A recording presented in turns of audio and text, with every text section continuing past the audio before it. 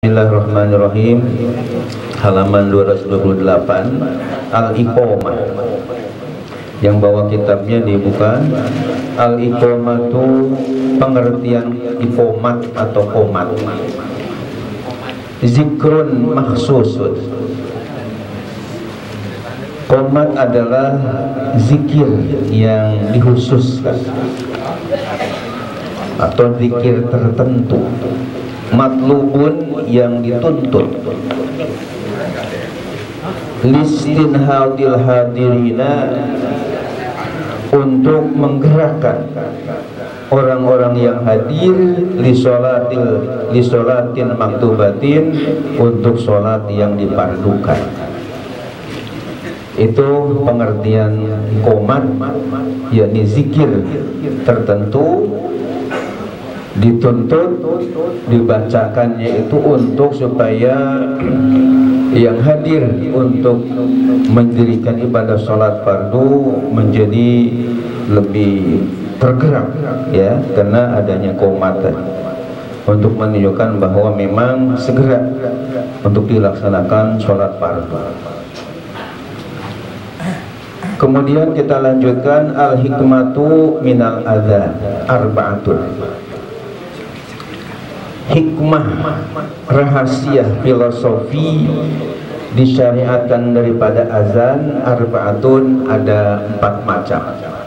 Jadi empat macam ini merupakan hikmah atau rahasia atau filosofi disyariatkannya ibadah azan. Yang pertama al-i'lamu biduhulil waktu adanya syariat azan itu merupakan iklam memberitahukan. Bidhulil waktu dengan masuknya waktu.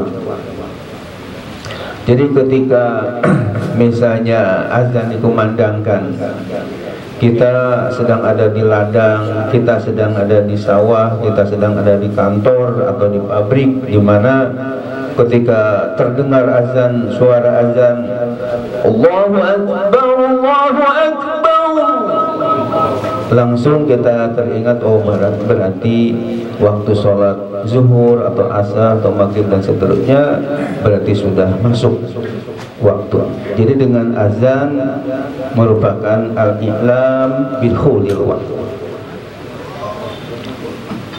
yang kedua, hikmah disyarkan azan adalah ad-da'watu ilal jamaah. Artinya ad-da'wah ilal jamaah adanya ajakan. Jadi dakwah ini bisa diartikan panggilan atau seruan atau ajakan ilal jamaah supaya sholat berjamaah.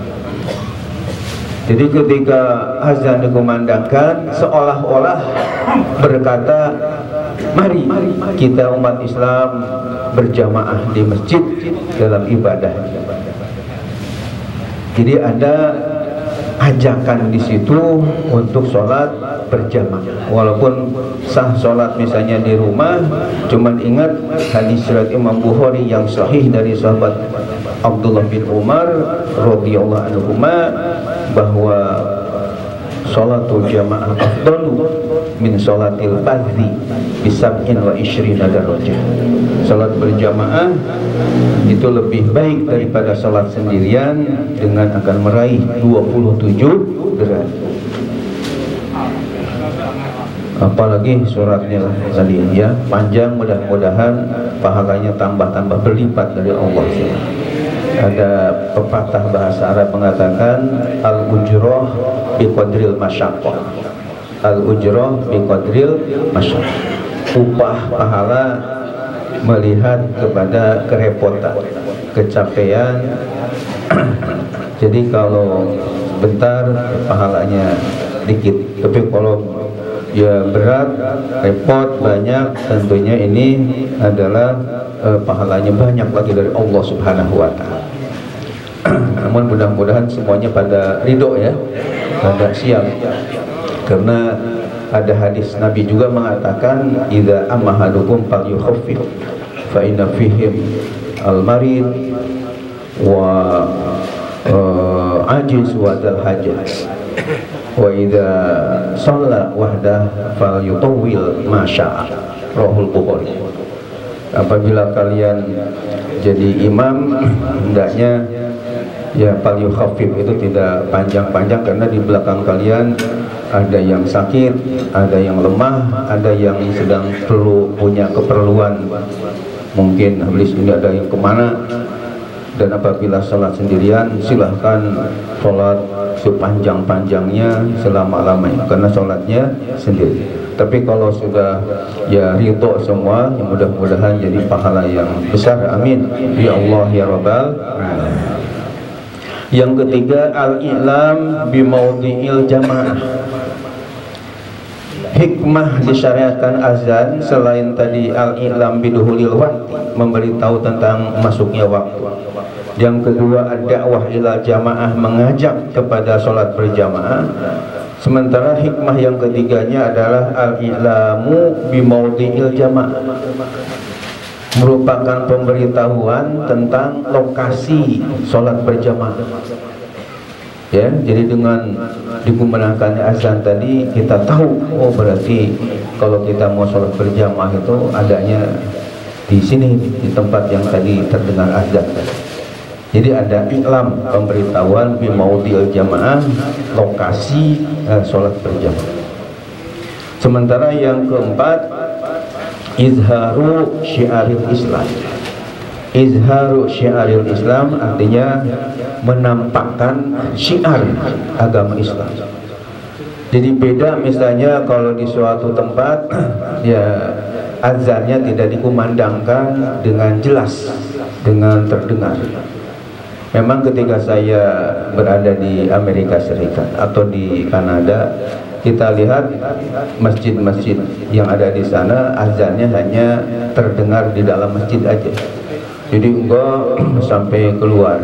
Dan menurut saya ini logis ya karena Islam di sana minoritas sehingga di sekitarnya itu kan banyak orang-orang non muslim mungkin mereka terganggu lah terutama, terutama waktu subuh masih istilahnya masih kerek ya masih molor masih pada tidur akan tapi kalau misalnya di tempat yang tentunya kita mayoritas seperti Indonesia ini maka tentu saya cenderung untuk mengatakan bahwa hendaknya diperdengarkan azan tadi dengan baik Kenapa?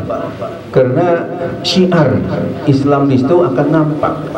Beda kalau misalnya sebuah di masjid-masjid pada enggak kedengaran azan hanya di sekitar masjid aja. Pelan-pelan aja. Allahu Akbar, Allahu Akbar. Perang. Beda dengan yang kenceng, yang keras tadi dan tentunya suara muazinnya juga harus yang dipilih yang terbaik karena ketika uh, Zaid bin Allah bin Abdul Rabi menemukan azan dalam mimpinya. Ternyata Rasulullah SAW minta supaya diajarkan kepada sahabat Hilal bin Abi Rabah. Kenapa? karena Hilal kata Nabi fa inna bilalan anda sautan minta. Karena Bilal ini suaranya lebih merdu daripada kamu. Oleh karena itu kamu ajarin lapat-lapatnya kepada Bilal. Bilal lah yang membacakan atau mengumandangkan azan.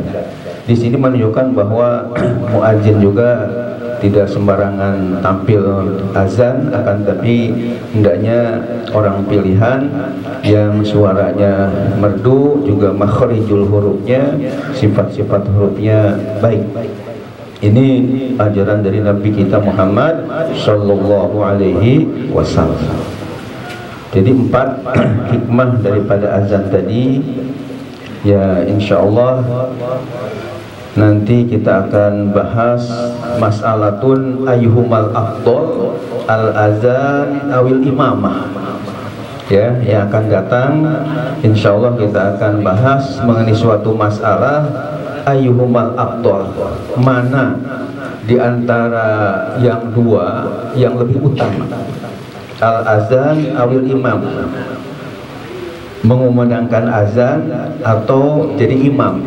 Ini menurut fikih kajian Islam lebih utama mana? Tampil sebagai muazzin dan tampil sebagai imam. Ini ada pembahasan yang cukup mendetail insya Allah kita akan bahas nanti mudah-mudahan kita semua sehat walafiat dan bisa istiqomah dalam kajian-kajian fikih khususnya insya Demikian Bapak dan hadirin yang terhormat, mudah-mudahan bermanfaat. Wallahul muwaffiq ila Wassalamualaikum warahmatullahi wabarakatuh.